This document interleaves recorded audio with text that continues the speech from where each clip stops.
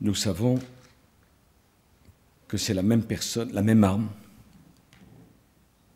qui a tué des militaires, des enfants et un enseignant. Des mesures de protection exceptionnelles seront prises pour la région Midi-Pyrénées et quelques départements limitrophes. J'ai décidé que serait donc activé le plan Vigipirate couleur écarlate.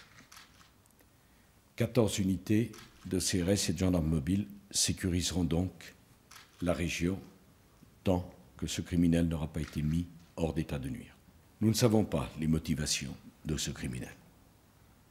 Bien sûr, en s'en prenant à des enfants et à un enseignant juif, la motivation antisémite semble évidente. S'agissant de nos soldats, nous savons que deux étaient de confession musulmane, qu'un troisième était antillais, mais nous ne connaissons pas les motivations, même si on peut penser, on peut imaginer que le racisme et la folie meurtrière sont en l'occurrence liés.